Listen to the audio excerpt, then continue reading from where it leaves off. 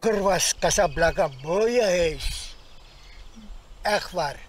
We kunnen een klein beetje dichterbij lopen. Durft u dat? Wil je naar daar gaan? Ik wil wel wat dichterbij lopen. Dat komt toch? Casablanca betekent letterlijk wit huis. Het gebouw Casablanca staat in Mungo. En we gaan de documentaire maken over eh, eigenlijk hoe de witte mens in het gebied van de Marons is gekomen. De zwarte mens.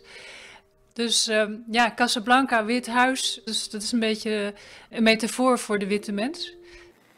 De webdocumentaire Casablanca Suriname van journalist en programmamaker Sam Jones en kunstpromotor Magda Augustijn moet een eye-opener zijn voor de Surinaamse overheid die zou moeten werken aan het behoud van het verlaten monumentale Casablanca-gebouw te Mungo.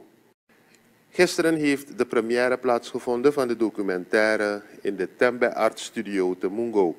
Casablanca Suriname is een documentaire die gaat over de bewoners van het voormalige bauxietstadje en de Mungonezen van toen en nu. Ook over de mooie herinneringen, de harde realiteit en de toekomstdromen.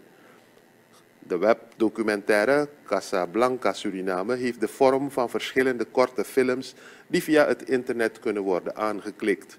De ruim één uur durende documentaire staat onder meer in het teken van de vraag hoe Marons die nu in Mungo wonen kijken naar het leegstaande en verlaten Casablanca-gebouw.